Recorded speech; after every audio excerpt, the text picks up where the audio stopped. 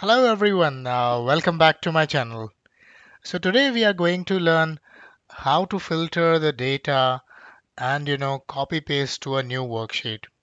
I have already shared one video where I'm showing how you can filter the data with the help of VBA, but you might not be knowing how to copy that data to a new worksheet, I mean the filtered data.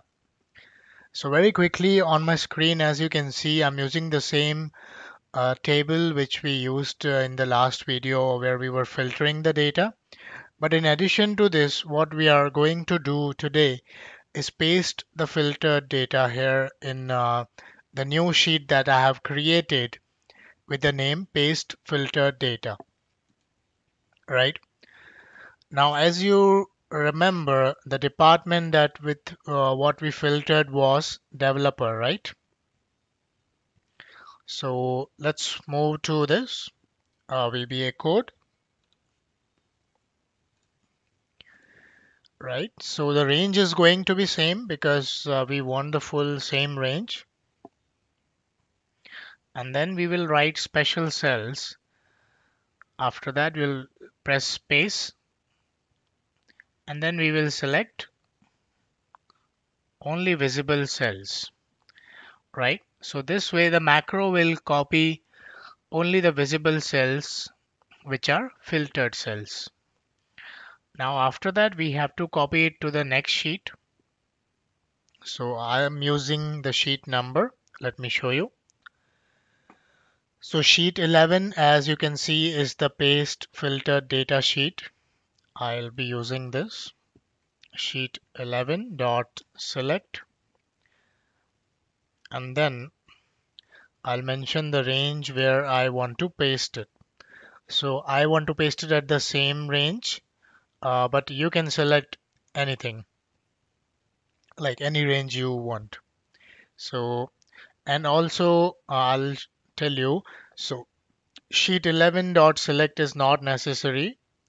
You can directly have a code like this, sheet 11 dot range uh, b5, then paste special.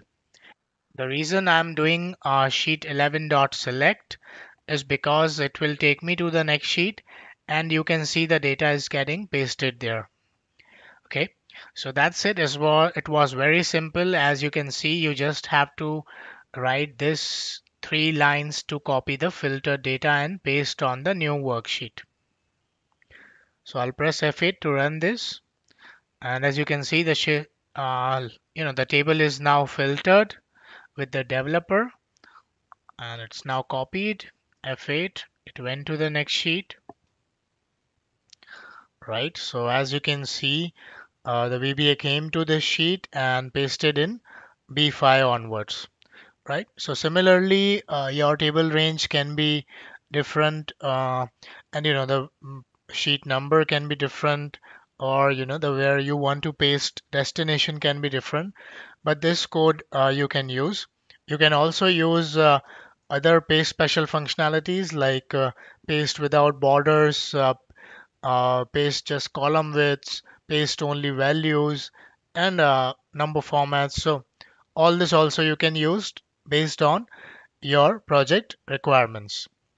So that's it for today I hope uh, you are liking the videos and uh, I'm trying to keep them quick so that you can learn things very easily.